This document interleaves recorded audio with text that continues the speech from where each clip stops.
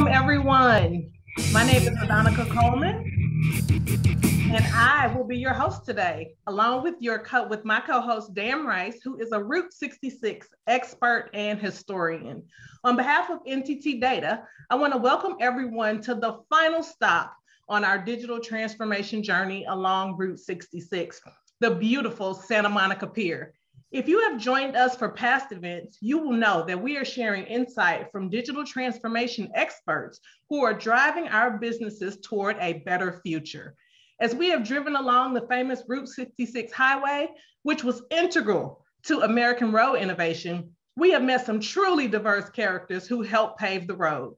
If you have missed our last stop in California, where we talked about digital experiences, we have a quick recap video to show you.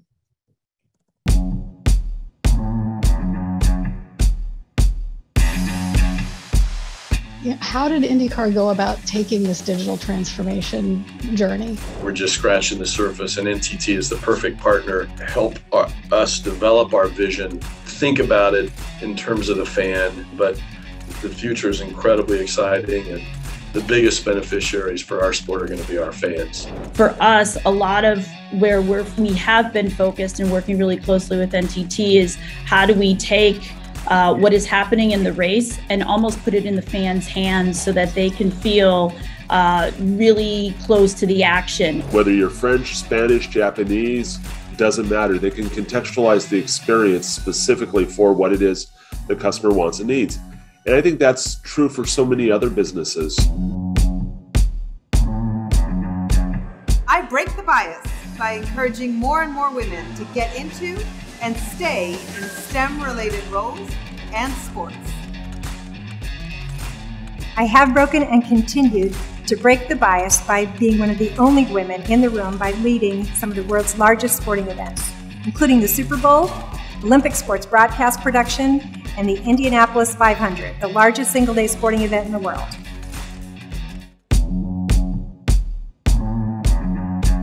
NTT Data, we want to commemorate Women's History Month by giving a donation to one of my favorite causes, Girls Who Code. So, Girls Who Code is on a mission to close the gender gap in entry level tech jobs by 2030. Here we are. We're uh, arriving finally in California, Route 66, 318 miles of some of the most diverse stretches of Route 66 that there are. And uh, as soon as you enter into, into California, you're going to find yourself out in the high desert. And one of the other big surprises for people on Route 66 is they actually get to see a volcano not too far out of Amboy. That's known as the Amboy Crater, uh, and they can see it right there in Amboy at Roy's Cafe. Further down the road uh, is Calico Ghost Town. Now, this uh, was actually bought at one point uh, by the same guy that started Knott's Berry Farm, and they and you can stop there today. They never finished those plans, but you can stop there today and, and enjoy a walk through an, an old western town.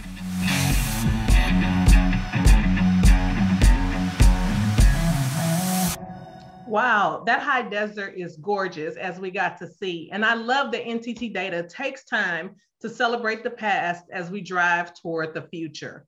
So today, as we celebrate Earth Day, we have a power pack group focused on security and sustainability.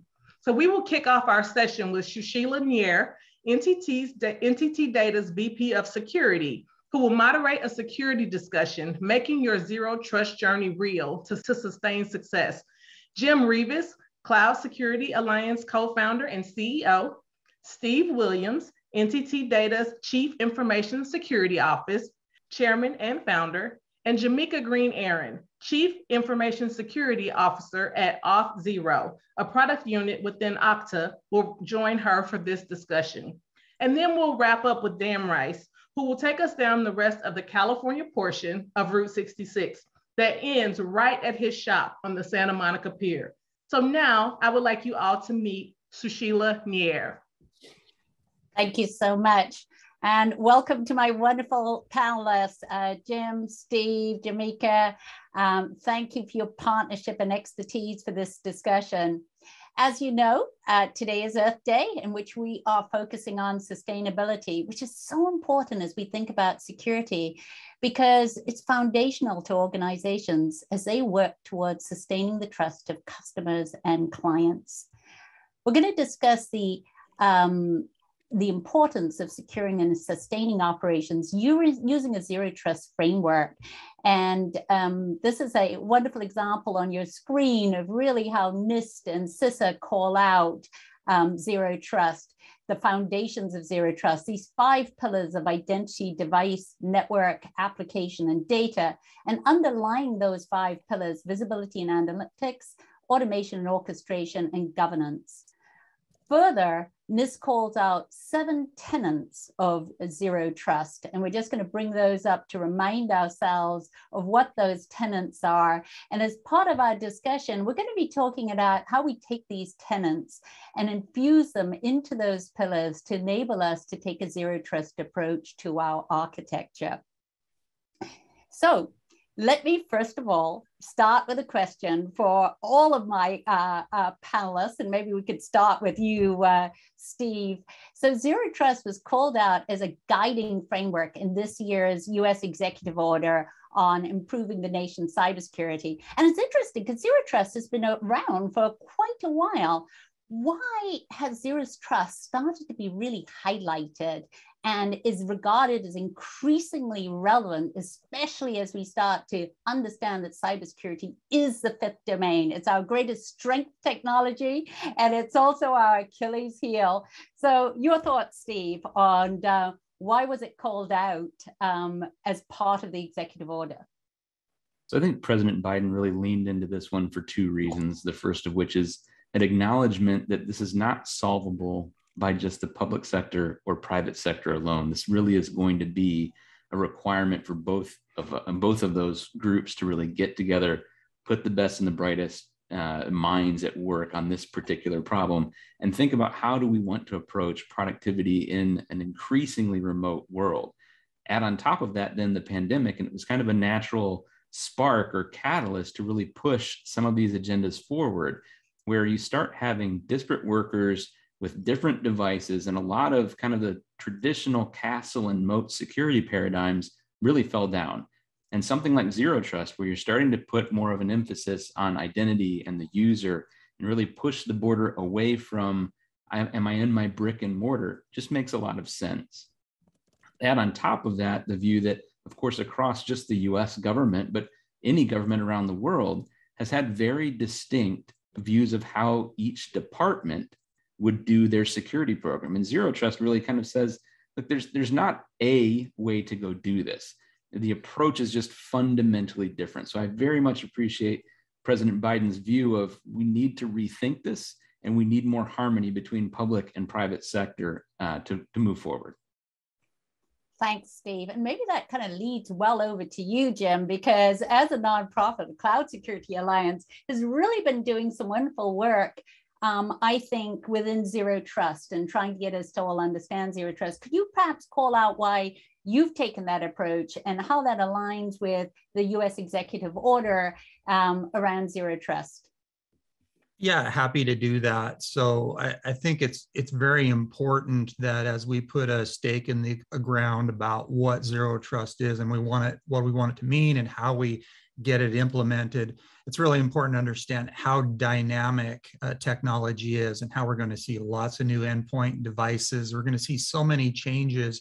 And so it's really important that we take a technology agnostic and vendor neutral approach to defining the problem, understanding that, and then having this ecosystem approach where we can educate the individuals, create professional credentials, where we can create tools for organizations and even auditors to assess zero trust compliance. And so there's there's a lot that needs to be done. And we need to be thinking not just today and tomorrow, we need to be thinking a lot about the future as well. So we're not defining all of this at Cloud Security Alliance. We, we will do what we need to do, but there's a lot of great resources out there, and it's already been mentioned. The great work NIST and CISA are doing, and I think you'll see a lot more in standards bodies. But we are really focused on that ecosystem of the individual professionals, the auditors, the organizations, the certification bodies, the the entrepreneurs, the technologists, and bringing that all together so we have something that is good today, but it's sustainable for the future. That's wonderful. So really harnessing the knowledge that's out there through maybe your working groups, Jim, would that be right? To um, gain a, a, common understanding. That's wonderful. Jameeka, identity was called out by both uh, Steve and Jim in, in, you know, in it being uh, pivotal within Zero Trust. Your thoughts around the US executive order and um, zero trust and why was zero trust especially highlighted i know there's some really interesting work going on at Okta around this area yeah, so I think to echo both what Steve and Jim said, I, I, believe wholeheartedly in both of what they said, but I think there's another pillar, and it's this idea of collaboration and action amongst the, the security community and amongst the CISO community. I think the executive order is starting to pave the way for us to be more collaborative. Essentially, our adversaries are almost always the same. Um, yes, we, we each have a competitive advantage within our business, but when we think about as CISOs, the adversaries that we're all fighting, they are the same adversaries. And so, why are we doing this in such a disparate method? And I think what Zero Trust does is it paves the way for collective collaboration. Um, I think one of the things that's critically important um, for CISOs is to have access to knowledge around threat vectors, around vulnerabilities, around attacks, but not just access to the knowledge, the ability to share when we've actually been vulnerable. Um, and so, I think that that's the final pillar that Zero Trust will really allow us this truly safe space where we can actually sit down and have conversations and share knowledge and share what our teams are done doing um, to successfully protect our enterprises. And I think Zero Trust is one of the first steps that will really allow us to segue into that collective collaboration.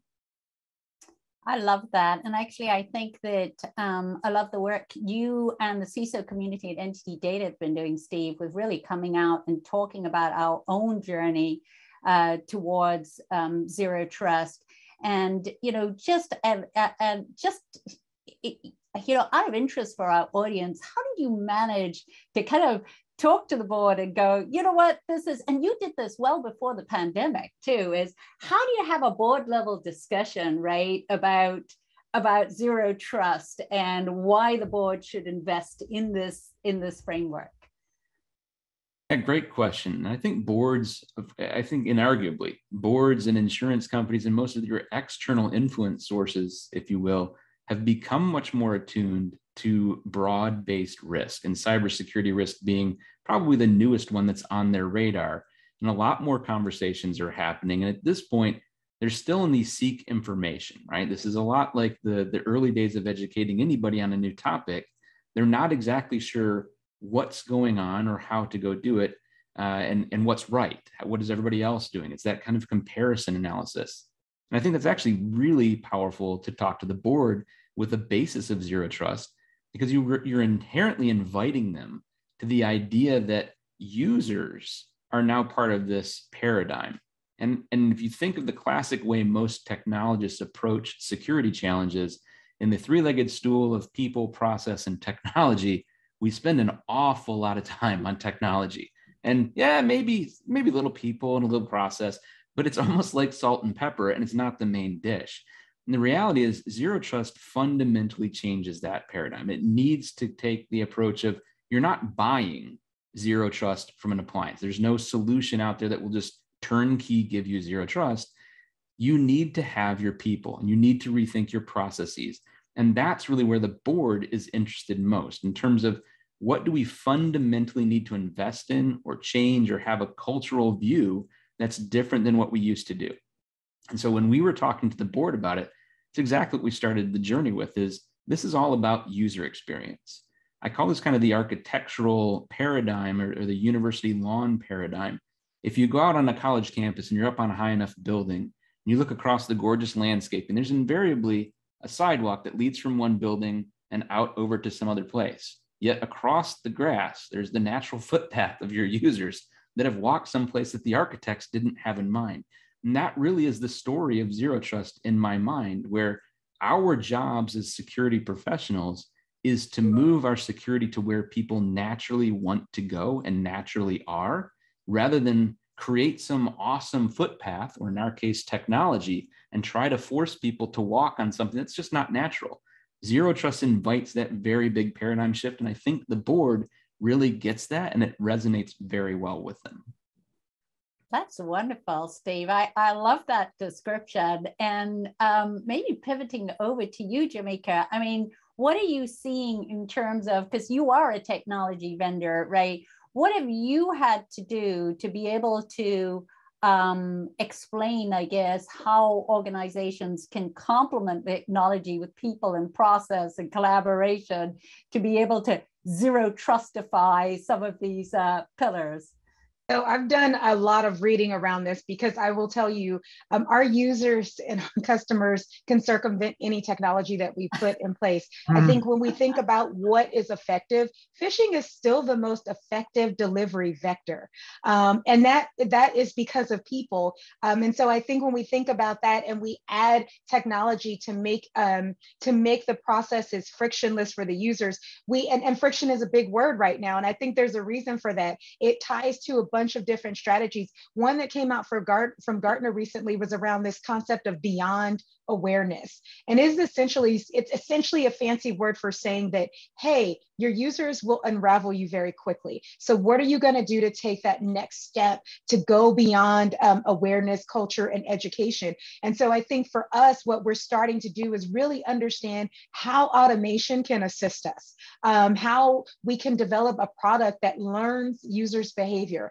So i mean outside of mfa which we all know we should have um, we, we're looking at strategies around around adaptive authentication that really look at the user's behaviors, that give the users a signature, and then the, the technology adapts based on where the users are, if they've moved, if they're traveling. I think the other thing that we're doing, we're really focused on a new uh, product that we have called Credential Guard.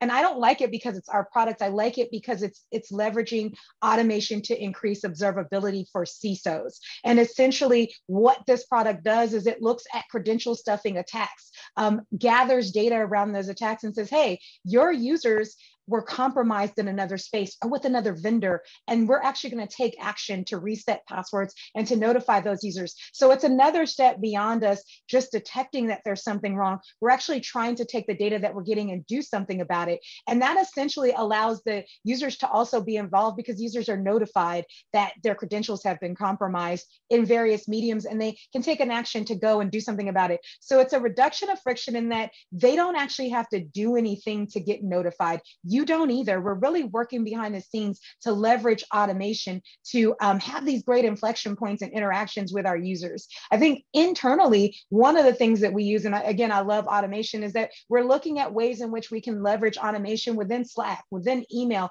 to really give the users a notification where there's an action that they can take when something happens. And I think that that's going to be pivotal to our success of implementing zero trust, but also making sure that our users really understand why the risks that they create and how they can help us do our jobs better. I love that, Jameeka. So all of that capability that you're really kind of enhancing consistently around not taking a trust approach, but consistently validating. So that's wonderful. Jim, you know, it's so interesting hearing everybody talk about um, expectations from the business around value for zero trust. Now, you're, you, you know, we can see uh, the Cloud Security Alliance taking up moves to really um, assemble those that expertise and that collaboration around a, a common way of being able to uh, quantify zero trust. So um, I'm interested when you know when you decided to take that approach. What were what was the business problem that most people came to you to to solve? To say you know this is why we think Jim we need to be highlighting zero trust on the Cloud Security Alliance. I'm interested in your take on on what how they articulated either the problem or the value they would get from such a from such an effort.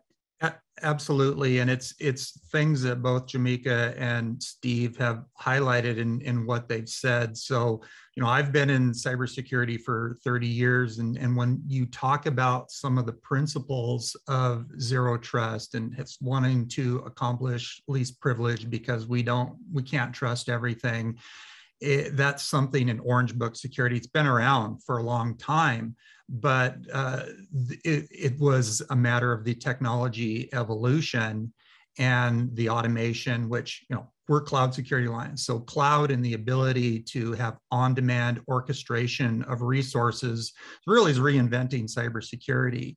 And that has created this foundation where it's, you know, really possible.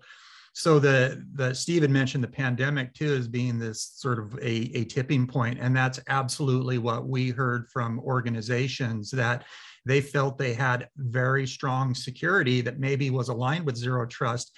But then when they needed to go work from home, they had these very strong systems and all these platforms. And now it was in a house in, in integrated with some smart home um, that they weren't sure about, and teenagers looking over this two factor authenticated system and maybe they were in an architecture that was using sort of fixed capacity VPNs that were sized for maybe 10% of the workforce and not 100%. And maybe they were using virtual desktop interfaces that were also um, assuming a certain capacity and now it was 100% of the workforce. So so people came to us to say okay now we understand that we've been living a little bit in the past. We see the promise of all of the automation capabilities but we need to understand this better because we're getting inundated with different people saying hey our specific technology is zero trust. And really what it means is it can be part of your zero trust journey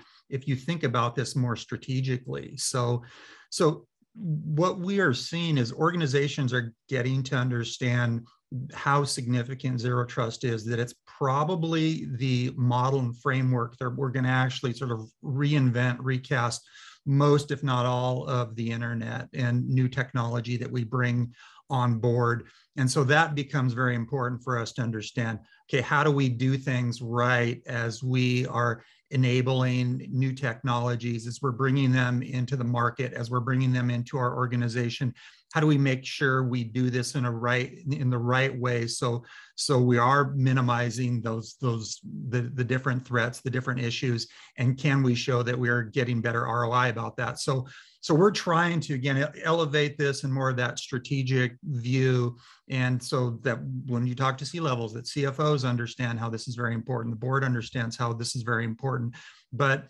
it's it's great timing right now. Right now, all of the things that have happened in the world, some good, some bad, have put us at a point where we can make great strides with zero trust with the tools that are available. well that's brilliant. Excellent. So really what we're saying is that uh, this is the time. This is the, the tipping point. You, you need to you need to be leveraging this framework because we are working from anywhere and uh, we need to alter the way that we're architecting things because um, the way that we architected it really doesn't work as well and it's kind of accelerated the problem statement. So so understanding that then and i think that this panel's done a brilliant job at kind of uh, articulating that value so the, the in the US, a discretionary 10.9 billion has been set aside for federal uh, civilian cybersecurity capabilities. That's an 11% increase on the year prior. So here we've got some budget, folks. we had to go shopping. Aside from technology, where do you see the investment should be made? So you're off at the shop with your, your X number of billion dollars, and your outcome is a zero trust framework. How might you recommend organizations? Where do they where do they start? Um, who would like to go first on that one? I think I'll, I'll start. I oh, think I think that people, right? I think mm-hmm. the investment is in talent. Um, the the security pipeline, talent pipeline. We all are essentially trading employees. Um, we train them, we we grow them, and then we ship them off to another CISO that we probably know, um, and they go into their next phase of their journey. I think it's critically important that we continue to um, build out the security talent pipeline. I think that we have to look outside of some of our traditional norms for those those people because they're there. I think they don't always come from engineering or technology backgrounds. I think folks with creative backgrounds are, are great um, folks to bring onto our teams. And so I would say if I had my shopping list out, I'd be on the people aisle, uh, making sure that we continue to build out the strategic pipeline for security talent. Oh, I love that. Okay, so we're in the pipeline. And do you make any any tips or hints to the audience on the kind of thing that we need to be conscious of as we train our talent pipeline so that they're able to architect for zero trust? Any particular uh, skills that you'd recommend? Well, I'll, t- I'll tell you this. I am always looking for practitioners. Um, and, and this is going to be hard to say because I know we do this a lot in this industry, but typically someone who's just gone through a cybersecurity boot camp is not yet a practitioner. And so I think we have to we have to add um, to those boot camps. We have to add viable internships, um, training grounds where they can actually get practical um, implementation knowledge. Because I think none of us come out of college or out of our boot camps really ready to be practitioners. And so I would say that there's work that we need to do um, as the leadership of this community to really allow folks to become those practitioners that we're looking for. And we're looking for threat intelligence, threat hunting, cyber defense, um, even on the compliance side, even down to privacy. I think it's closely aligned with what, what we do. And so when we think about um, the skills that we're looking for, we're looking for folks who have the propensity to learn very quickly um, what we do. But also, I think it's it's bigger than that. We have to give um, the right kind of training so that when they come out of these out of these organizations or boot camps or college, they're really ready to hit the ground running. And so I think that happens through practical access to internships at companies like all of ours. Um, I think we all have something to add from a value add perspective to the talent pool um, that we can really provide. That's wonderful. Okay, so shopping aisle number one has a has a bundle load of talent to that shopping cart. So, uh, what about you, Jim? What would be in your shopping cart when you hit the front of the line? what do you What would you purchase with your yeah. uh, budget?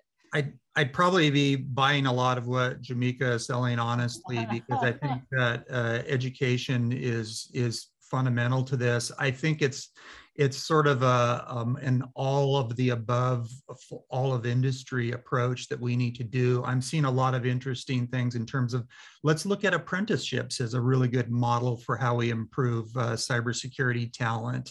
Um, a lot of on-demand sorts of learning and and thinking about how we align the different CPE efforts with the different credentials that are out there. Um, more technical in, in, uh, um, education, I'm finding a lot of cybersecurity professionals are finding with all of the scripting and automation, they need to pull out some of the the Python and some of the scripting skills that maybe they they had before.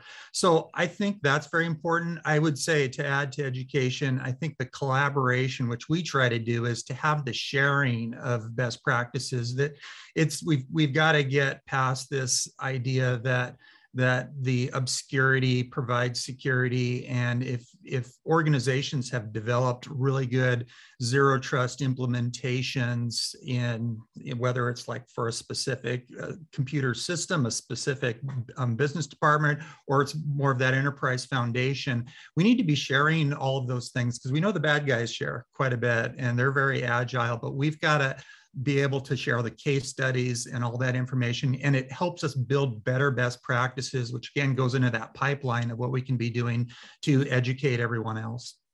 I love that, Jim. So you're saying really um, from an education perspective, join local groups, join your peers, have the discussions on how they're implementing zero trust and what's worked and what's not worked and come forward and and also share your journey and where you are which perfectly leads me to you steve. So when we're thinking about our shopping cart right and and how i mean you've done a, a phenomenal job at NTT Data with um, zero trust and making it you know a framework that we all recognize. How do you do that steve? How how did you make sure you had the right talents and skills to be able to design a you know the architecture so it's supported frame uh, uh, zero trust? Because last i checked there's no zero trust certification at the moment you know? So how, how did you get the right people? Yeah. Great question. I to me this comes down to making sure you have a north star right? Some some idea of where are you ultimately steering the ship. Once you get the right people it's not going to help you if they have no idea what direction to go in right? The old saying of if you don't know where you're going any road will get you there. So i do think spending a little bit of time and i do mean a little bit of time on strategy and not overthinking this. Don't let perfect be the enemy of good. You must start moving but get everybody aligned and moving in one direction. That was kind of the first challenge then you can start skilling people towards where do you think they need to be not now not yesterday but really for that journey going forward. And i think jameeka and, and jim both hit it square on the head. Yeah this is a big people exercise of course. Um, i also like where jim was going in terms of what comes next around information sharing. And also I use this term, it's perhaps a little um, controversial, but cyber shaming. We have no problems absolutely crucifying people that had an incident. And I guarantee you, you know, that the age old wisdom of it's not if, it's when you will get attacked. Everybody says those words, but they clearly do not embrace it. And that's a shame because, to Jim's point, the bad guys absolutely share and they have no pride of ownership and they are very good at upskilling their trade craft. We are not. The good guys, so to speak, are not. And some of those 10 point, you know, $9 billion, which frankly should be like $100 billion, but I digress. Um, at, at the end of the day, really need to go towards some of the regulatory protections that make it safer for companies to truly talk about the good, the bad, and the ugly of incidents and do it without fear of reprisal, do it without that kind of cyber shaming view of, I, I was naughty, and so I'm not going to go talk about what just happened, even though that is exactly where you learn the most.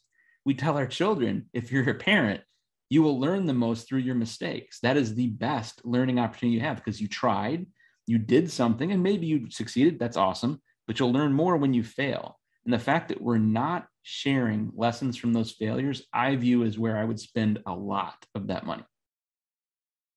Oh, I love that. So, really spending time being able to continuously improve and learning from the mistakes that that we make and allowing them to be signposts along the way i think is really that's a really great um, approach. So just kind of thinking a little bit about, um, you know, we've talked a little bit about how, the importance of cybersecurity. And really, one of the things I think that cybersecurity really is an environmental, social, and governance ESG responsibility. It's really a corporate responsibility, I think, because we're being trusted with data. And um, it's about the company brand and really increasing, I think, customer and constituents really understanding that you value them and you you know you you're protecting them. Um, so your thoughts about um, steve are you seeing organizations treating cybersecurity as an esg issue? Is that becoming a more popular stance? I do think it's becoming more popular. I think right now we're still early days so where we see a lot of the traction is in manufacturing or critical infrastructure where there's been more discussion more news articles, more conversation. I think people are more open to those ideas as ESG or as corporate responsibility in general. Um, you will see that starting to manifest differently, though, as companies realize the asset or the, the brand value that cybersecurity brings to the game. And if you talk about the governance side of this specifically, that's where the boards are really going to start saying, okay, we're spending a lot of money with ESG, rightfully so. How, and I do think there's a natural bridge between this topic uh, that classically we've thought of as kind of an environmental issue and a little bit of societal corporate responsibility, but not so much on the G. I think the G has been kind of lowercase. and I think going forward, they will be more of an embracing of that uppercase G as asset value, brand value, kind of the, the market recognition for companies that do this well where that trust is maintained, where they really do, as a, a customer of a business, feel like I'm being taken care of, they will continue to succeed. And I think that's what will be the driver for broader and more comprehensive ESG adoption. That's great. And I'm interested in your take, Jim, as well, because, you know, as we, there've been a lot of organizations that have had issues with breaches. And as Steve mentions, it's difficult coming forward and being honest. And I think it is so important that we all are able to learn. Like I'm endlessly grateful for organizations that allow us to have insight into what happened so that we can fix um, those issues as well but um, I wonder about your take then on Jim. Do you see people as seeing cybersecurity as a you know ESG issue? Because we've had breaches where you know after the breach, the share value goes up, right? Because the consumer is confused about where the breach happened, or it's like we have breach fatigue. I don't care, but we're not, you know, to some degree. Um, until we had ransomware attacks, which really brought people to a halt, and they're like, okay, now it's definitely costing me money. You know, there's been, yeah, what's your take on the fact that there's a little bit of confusion around data where the breach actually mm-hmm. occurs? Mm-hmm. And should we, you know, especially in the US, I think there are different attitudes towards privacy in Europe and the US. Yeah, your take, Jim, on, on is it becoming an ESG issue? Because, yeah, it's, it's, yeah. I, th- I, think it is. I think, like Steve says, it's it's somewhat early. It's kind of interesting. So, from our perspective of being this this cloud organization, uh, we've seen this transformation of the software industry to be software as a service, and and you know, we've if you get outside of maybe somewhat of the bubble of cybersecurity in that industry, the the software as a service business solutions that are not cyber based at core they're understanding their business really is selling trust. That's like the core. No matter what they're doing really they're, they're that's what they're doing because you you don't go to their brick and mortar building. You don't get a chance to go sit down with them and and have coffee with them. And so it's just very important that they're able to show that that this is what they're doing um, the a, a, couple of things on how that relates to just the breaches and, and things that happen and how this is becoming more of like a, a, a community or societal good is that we're seeing more and more as you know every type of crime has the cyber element to it and an online element to it that organizations are understanding more and more that what they are seeing could have broader societal impl- implications. And you know so much you know of, of horrible things like take human trafficking for example things like that exploitation of children have uh, an online element that can make its way in very surprising ways can be even hidden in different systems. And so that people are understanding more and more that they've got that greater good responsibility.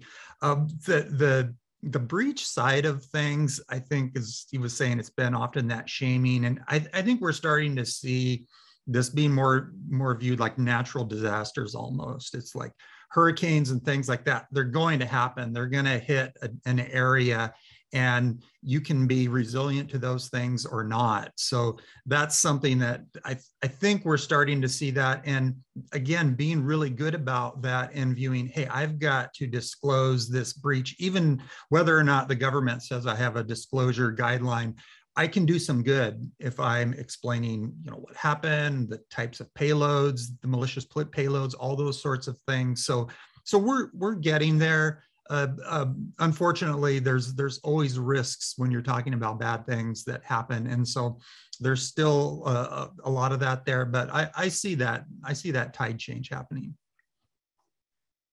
That's great. And and certainly I saw a call out. If there are people watching the panel and you want to ask questions, do feel free to drop that question um, in your chat. And thanks so much for that, Jim. That's really interesting around, um, you know, whether or not it's becoming a shame issue, whether people are stepping forward.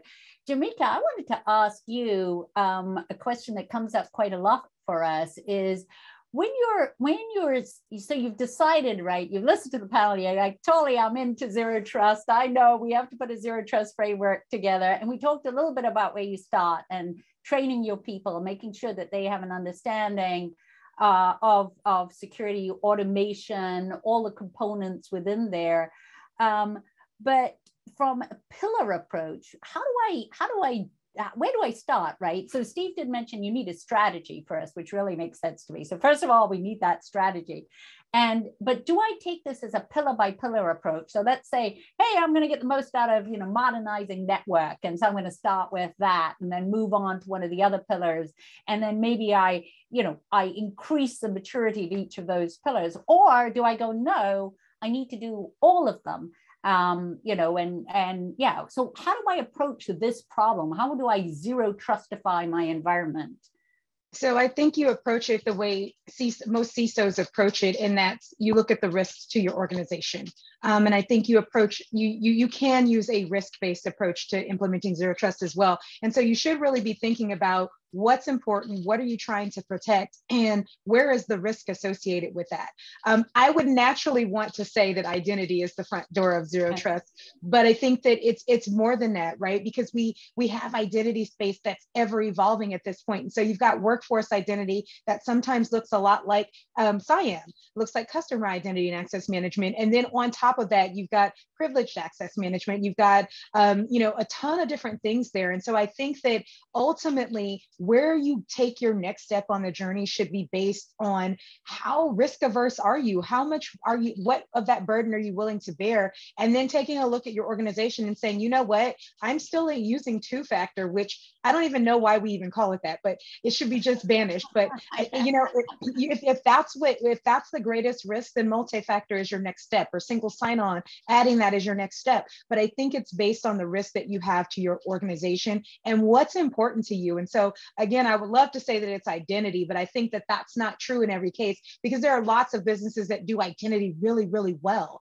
um, and they have partners and programs in place to do that well. I think it's really based on on where your risk sits in your organization and how quickly you want to resolve that. That's the pillar of zero trust that i think you need to dive into first Oh, I love that. Okay, so do a risk assessment, understand what you have, your business, and then understand what risks you want to decrease. To mitigate, um, yeah. To mitigate. So, um, Jim, any thoughts on that pillar by pillar overall approach? How should you risk based approach? What would be the best approach to take? Well, I'm I'm talking to enterprises a lot about this right now, and it's interesting. I'm actually seeing both approaches, and I'm also seeing both approach, approaches even within an organization. So, I'm getting a lot of enterprises, and here's an example: one that they've got a just a very specific application and very sensitive data, very confidential data that they're concerned about right now. And so it's somewhat tactical. And so they're taking a zero trust approach on this one system that's only got about 30 users and it's got a combination of you know data structured data unstructured data and so they're taking an approach of how, how do we take zero trust to really identify, to threat model this, to understand where those issues are and, and deal with that. And then, then you have organizations, and again, even within the same organization, they'll look at we we know that we're going to have a journey to zero trust and so we are going to look, uh, and Jameeka being somewhat humble there, they're going to go look at how do we make sure we have a really good understanding of the identities, not just of our people, but all of our technology assets, all of our software, all of our even virtual machines.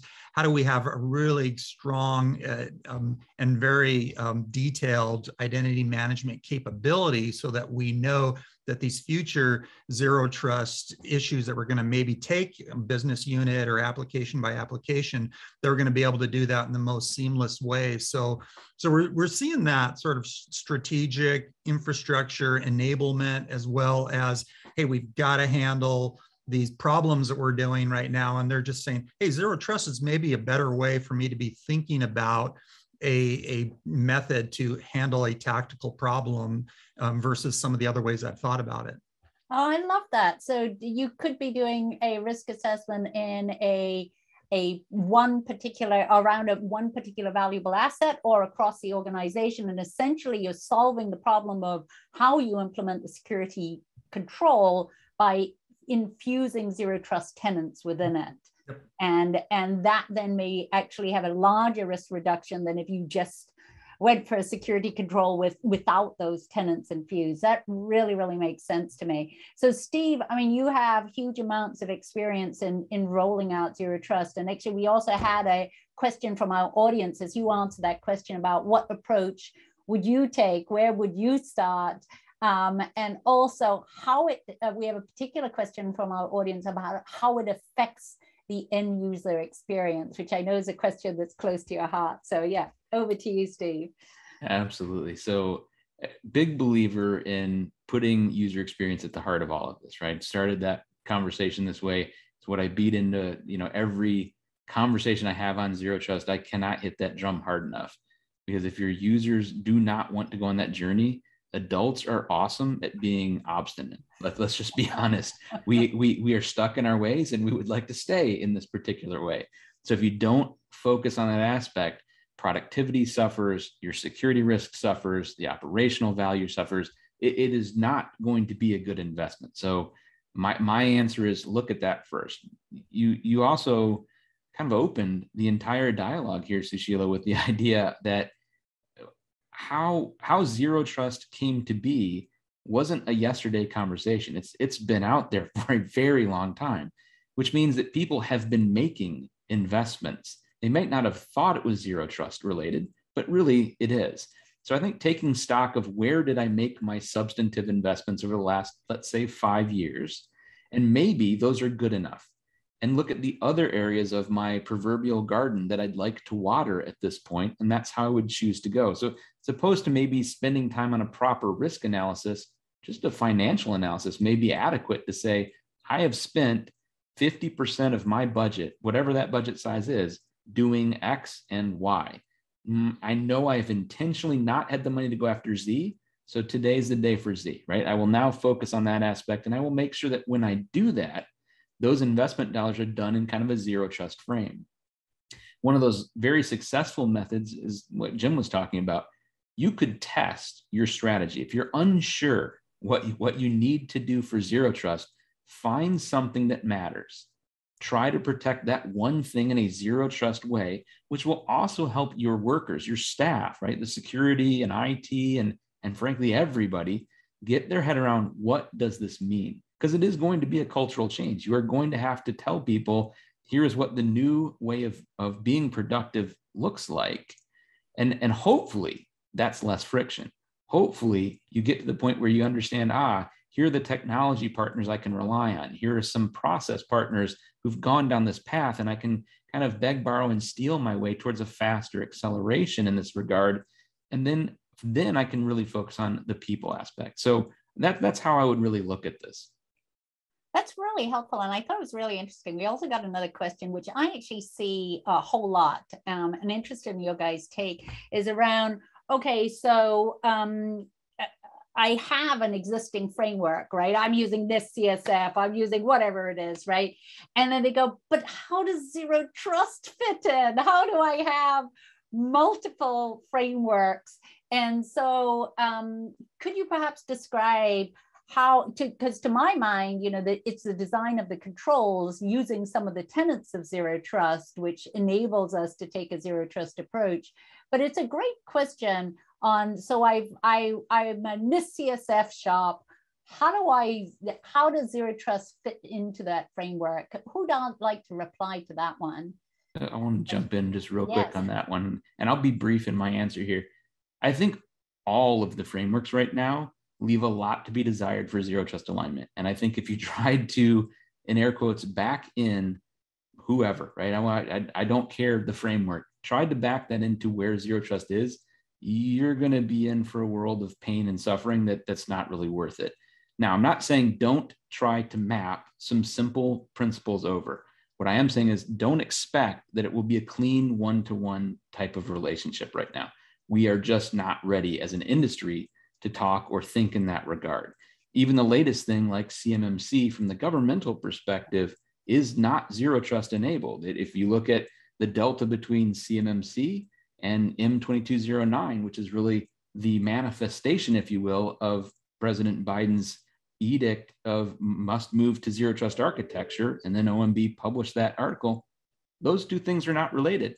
So we have a ways to go. I would say don't stress the framework mapping just do what you know and talk to your peers about is right and keep moving and wait for the wait for those standards to catch up. Wow that's super helpful steve. Thank you. Any comment jameeka jim on on frameworks and how to zero how to live in a zero trust world? Well, i would say steve answered the question perfectly. That's exactly what i would have said as well. It's a it's it's a conceptual or real um, implementation when we think about frameworks. And so it's never one to one. Don't spend too many cycles trying to map it if you have a framework or implementation that actually works for you. So if, if I could answer it, um, which I think aligns with um, what Stephen and Jameeka are saying, but in a, somewhat of a different way, I think if the, the more you understand zero trust as a strategy and this idea that you can't implicitly trust everything, that you need to continually verify things, the strong identity strategy for this, that you can put a lot of what you've invested in the proper context and continue to be using it because I do get a lot of people who are afraid that they're going to have to throw out a lot of things. And it's simply not the case. But if you don't understand it as a philosophy, as a set of guiding principles, you might be led down a path to reinvent things. And then I, I do agree that we're going to mature and grow. And I know like the cybersecurity framework, I think it's actually right now going under a revision.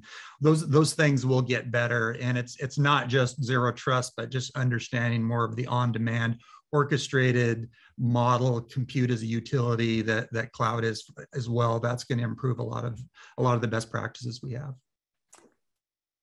I have so enjoyed this conversation, and I wanted to give everybody just one minute each to to wrap up on. You know, if you had to give folks a piece of advice as they wherever they find themselves in the zero trust journey, you know, what would be the the top advice you'd give them around um, how they could be successful or what to watch for? You know, just choose it out of the bag. What would be your summary? And then the la- the question as well that I have two more that I'd like to kind of bolt in there is how do you know that you're successful. So you've gone, okay, here's the advice on how to implement it. I didn't know that you go, yeah, actually, I'm, I'm doing well. I'm on a B plus on my journey. So how do I measure that maturity? Um, and then also when you have people that you're leaving along the way, people are going, but what about the network team? And that's, you know, a great question. what about the, you know, the folks that, that are struggling to with the fact that well, you know, everything was okay before and I don't really have to change and I don't want to change my security cloud or or anything else. So just just one line from each of you, or a couple of lines from each of you around uh, what advice could you give and especially with a view on uh, how do they know they're successful or not successful and also how do you bring along people that are laggards and are not keen on changing so uh, where do you want to start? Maybe I'll go through the panel as they're listed on my screen. Jim, do you want to start first, perhaps? Yeah, yeah, that, that's that's a whopper. But um, I, I'd say that you know shortly, it's it's again you got to think strategy and you got to think about the future. And is the way I'm considering this very adaptable for the unknown. There's so many unknowns, and so if you're thinking in that way, you you should be able to find that this is something that everybody in the organization plays a role in. It is that people process technology we talked about. And then within that, there ends up being a lot of metrics you already have that you should be able to measure this with. Wonderful. Thanks, Jim. Steve, over to you. Any any words of advice, Sunny? so, so I think that for me, the first and the third are answered the same way, which is focus on the user, which I beat that horse quite a bit. So I, will stop now and say on the second one, in terms of how do you measure success, um, I, again, I wouldn't be too fancy here. Um, my view would be get an ideology that you can stick behind that gives you some sense of, again, directionality.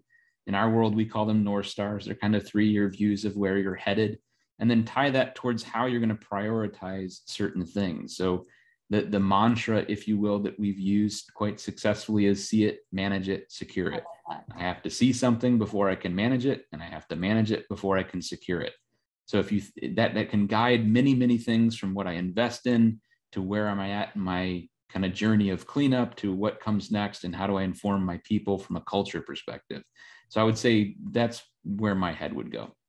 I love that, and we've got several blogs actually on our site on that idea of see it, manage it, and secure it. So definitely uh, catch up on that. Thanks so much, Steve. And Jameeka, any summary well, for our audience?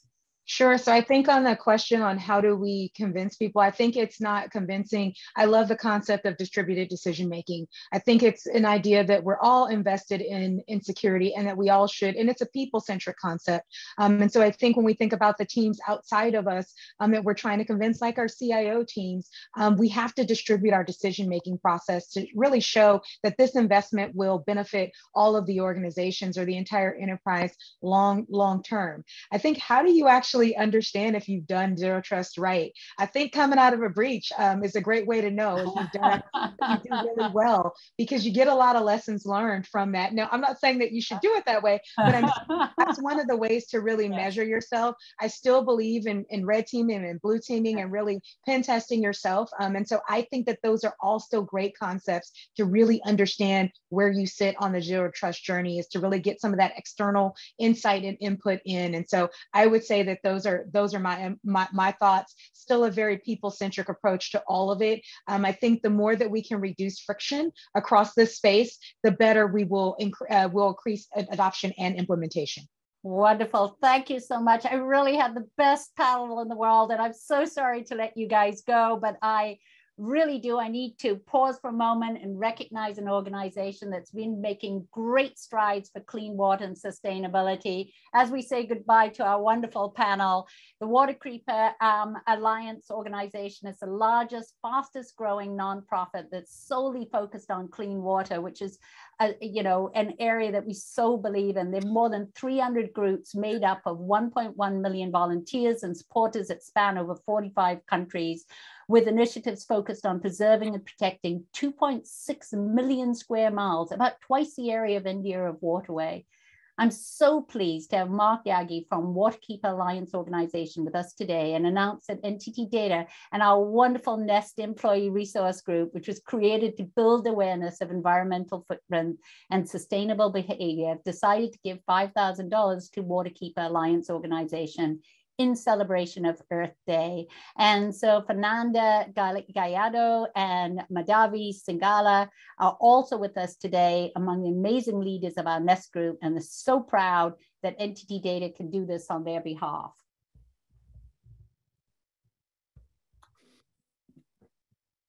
Well, thank you so much, Sushila. And I want to thank Fernanda and Madhavi and everyone involved on behalf of Waterkeeper Alliance. We're so very grateful for uh, NTT Data's generous support, which helps us protect our right to clean water in communities around the world.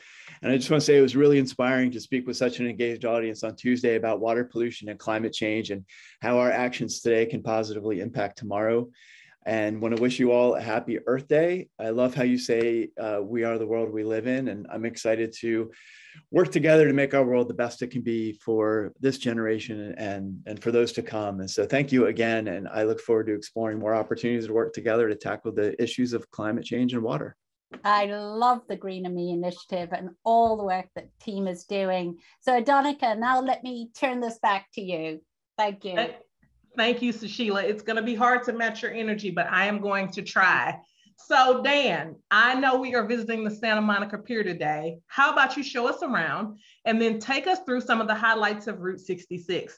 And if you have any Earth Day or sustainability things, we'd like to hear those quickly too. Sounds good. Adenika, can I just jump in and make a quick announcement before Dan goes? Sure. Thank you so much. No, I just wanted to grab the opportunity to make a quick announcement that we are from the NEST ERG actually rolling out a Greener Me challenge that is expected to kickstart in June or July timeframe. The whole idea is that you know we reduce the carbon footprint at an individual employee level by embracing you know various environment friendly practices to fight the climate change. So this challenge will run for four to six weeks timeframe uh, with the highest carbon footprint savers emerging as winners. So in our view, this is a very powerful way of spreading awareness among our employees and empower them to fight climate change at home, work, and beyond. So once again, happy Earth Day because the theme this year is invest in your planet. So let's invest time and effort to go greener, make our Earth a beautiful place to live. Thank you so much, Adonika and Dan guys. Thank you for the opportunity. Thank you. Dan, over to you. All righty. Well, I'll, I can I can uh, tell you that today we are back on California's Route 66. And today we're moving from the high desert to San Bernardino, California. We'll be traveling just a little further west where we come to the Pasadena Bridge, which is just on the other side of the Rose Bowl. You could see it dead center uh, in the center of your screen if it wasn't hidden behind those trees. But right in front of you is the interstate that was built in the exact same style as the Pasadena Bridge. Now, this was a spur of Route 66 for just a few years in Los Angeles, but it's created a cool hiking opportunity to hike right under Route 66. And uh, this will actually take you just to the left there. You can see 66. It'll take you right into downtown Los Angeles. Now, downtown LA is actually the original endpoint of Route 66, ending on the corner of 7th and Broadway. And uh, there it is. Uh, it, that was the original endpoint of Route 66 until it was extended out to Santa Monica in 1936. Now that's my sign. I put it up on the Santa Monica Pier to recognize the traditional uh, endpoint, and it was a more fitting end for people coming out west to see if they could make their dreams come true. Now, for anyone on the actual journey of 66, it goes along Santa Monica Boulevard, becoming, I guess, before it comes to a spiritual end at Ocean Avenue. And then that's before it comes down to the traditional endpoint at the pier where my shop is. And, and that's my shop right there. I put the shop there because I wanted a place where people could, could celebrate the end of their Route 66 journey. And that's me. Uh, okay. I don't know where you found that picture, but good, good job. Uh, the pier sees uh, six and a half million people uh, every year. So I knew if I put my shop there and I put up a sign that marked the end of Route 66, we'd be able to keep the road alive forever. And uh, it does get a lot of attention now. So, anyway, I just want to thank you, everyone, for joining me on this trip along Route 66. I hope you enjoyed the Santa Monica Pier and my shop and everything else you've seen along the way. And it has been an absolute pleasure taking this trip with you. So, thank you so much. Thank you, Dan. And I mean, wow, our time today really has flown by. Um, I have had a blast during this entire journey through digital transformation, and I hope that you all did too. And on behalf of the NTT Data team, we would like to thank you for joining us on this amazing journey along Route 66. If you have not been able to join all the stops, we have dropped the link into the chat. You can also go directly to the NTT Data Services website and find all prior on-demand events on the NTT Data events section. Thank you so much, everyone. Have a great afternoon and happy Earth Day.